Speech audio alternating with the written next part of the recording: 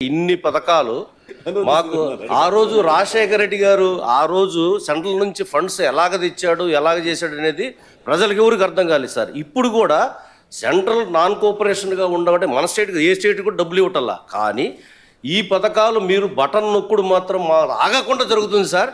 అది భగవంతుడు మీకు ఇచ్చినటువంటి శక్తి సార్. అదేవిధంగా ఉద్యోగులు మీకు ఎప్పుడు కూడా మన ప్రభుత్వానికి ఎప్పుడు అండగా ఉంటారు సార్. నిన్నటి నుంచి చూస్తున్నాం మాకు పాలాభిషేకాలు అసలు మాకు కూడా టైం లేదు మమ్మల్ని గెస్టులుగా రమ్మంటే మీరు చేయండి చేసేటువంటి కార్యక్రమాలు.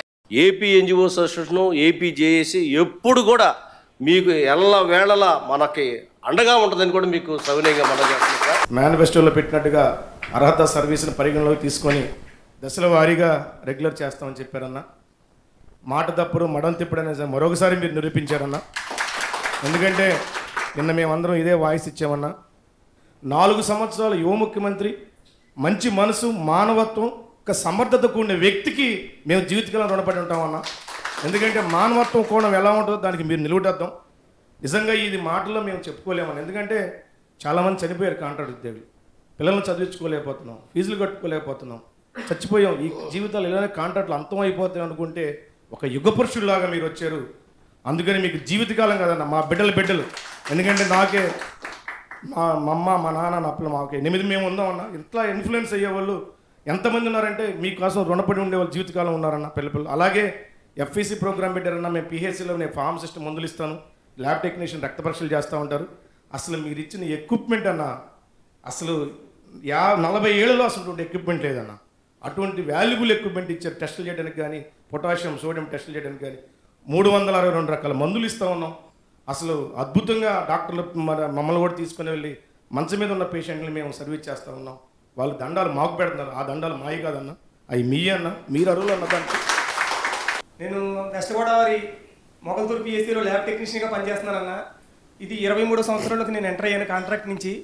ఈ ఇరవై మూడు సంవత్సరాల్లో ఒక టెక్నీషియన్గా అటువంటి ఎక్విప్మెంట్ని ప్రభుత్వ ఆసుపత్రుల్లో చేస్తామా అనేది అసలు అది మిరాకిల్ అన్న. ఎలక్ట్రోలైట్ ఎనలైజర్ ఇచ్చారు బయోకెమిస్ట్రీ ఎనలైజర్ ఇచ్చారు యూరిన్ ఎనలైజర్ ఇచ్చారు మైక్రోస్కోప్స్ అన్ని కొత్తవి ఇచ్చారు. అంత ఎక్విప్మెంట్ అసలు ఒక రూము రూమ్లో మేము కూర్చుంటే మేము చాలా ప్రౌడ్ ఫీల్ అవుతున్నాం అన్న ఇవన్నీ చేయడానికి అసలు చాలా సూపర్ అన్న. ఒక ల్యాబ్ టెక్నీషియన్గా అటువంటి ఎక్విప్మెంట్ గవర్నమెంట్ ఇన్స్టిట్యూషన్లో చేయటం అనేది నిజంగా మా సర్వీసులో అది మాకు ఒక మైలురాయి.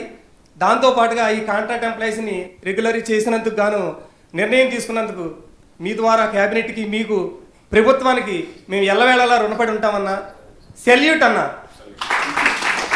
ఎవరైతే అపాయింట్మెంట్లో ఉన్నారో పీరియడ్ పెట్టామో ఐదేళ్ళ సర్వీస్ అనేమో వాళ్ళందరినీ యాజ్ డీస్గా పదివేల నూట పదిహేడు మందితో పాటు ఎంప్లాయీస్ కాకుండా కుటుంబాలను కూడా మేము నిద్రలో కూడా మర్చిపోరన్న. ఎందుకంటే ఆ కుటుంబాల హృదయాలలో కూడా వాళ్ళతో పాటు ఇంటికి నలుగురు ఐదు మంది ఉంటారు. అమ్మ నాయన ఇద్దరు పిల్లలు వయసులో అయిపోతారు ఇప్పుడు పెళ్ళిళ్ళకి వచ్చి పెళ్ళిళ్ళు చేసిన కాలాలు కూడా. ఆ కుటుంబ కుటుంబం పదివేల కుటుంబాలు సుమారు మిమ్మల్ని ఎప్పటికీ మర్చిపోలేను కదా కాంట్రాక్ట్ వేస్తుంది అదేవిధంగా ఏబీవీ అయితే ముప్పై మూడేళ్ళ చరిత్ర. ఈ సంఘ ఇది ఏర్పడి కార్పొరేషన్ ఏర్పడి. ముప్పై మూడు నుంచి ఏ ముఖ్యమంత్రి ఏ ఆలోచన వచ్చినా సక్సెస్ చేయలే. ఏ ప్రభుత్వం చేయలే ఏ రాజకీయ నాయకులు ఏ మినిస్టర్లు కూడా చేయలే. పిఆర్సీ కావాలంటే ఉద్యమం రోడ్డు మీదకి రావడము ప్రభుత్వాన్ని డౌన్ డౌన్ అని సంపాదించుకొని కొట్టించుకొని గుర్రాలతో దొక్కించుకొని పిఆర్సీ చేయించుకునే వాళ్ళ గతంలో. ఇప్పుడు అది అడగకుండానే అంటే ఊహించని విధంగా. ఇన్ టైంలో పిఎస్ కమిషన్ ఇస్తానని మాట చెప్పడం అది ఎప్పుడు? మా పిఎస్ పదకొండు పిఎస్లో జరగలే. పన్నెండు పిఎస్కి మీరు ఒక్కరే ఇచ్చారు. ఎవరు కూడా ఇవ్వాలి పదకొండు పిఎస్లు ఎప్పుడు జరగలే. అడగండి. అడగకుండానే మీరు ఇచ్చినారు. అది కూడా చరిత్రలో ఎంప్లాయీస్ అందరూ కూడా ఉద్యోగులు ఉపాధ్యాయులు కార్మికులు అందరూ కూడా ఇవి ఊహించుకుని మీ పరిణామం. ఖచ్చితంగా మీరు మూడు పెద్ద డిమాండ్లు తీసుకున్నారు. పెద్దవి కూడా అన్ని సక్సెస్. ఉద్యోగులందరూ కూడా గతంలో అసంతృప్తిగా ఇప్పుడు అందరూ ఊహించడం మీద ఎవరైనా మాకు సరిపోయిన వాళ్ళు కూడా ఉద్యోగం చేయాలని కూడా ఉద్యోగం చేయడం ఎందుకు సిగ్గుపోతుంది మా నాన్న కిందకి తీసుకొచ్చుకున్నారు తీసుకొచ్చినారు. కాబట్టి ఇటువంటి చరిత్రలో ఎవరు చేరినా మీరు చేసినంత ఉద్యోగం ఎంప్లాయీస్కు ఉద్యోగులు ఉపాధ్యాయులకు ఊహించని విధంగా చర్య చేశారు. ఎంప్లాయీస్ తరఫున సెక్రటరియట్ ఎంప్లాయీస్ తరఫున రాష్ట్రంలో ఉన్న ఉద్యోగులందరి తరఫున కూడా మీరు ఏడో తారీఖు క్యాబినెట్ తీసుకుని నిర్ణయాలంటే మేము హృదయపూర్వక కృతజ్ఞత తెలియజేస్తున్నాం సార్.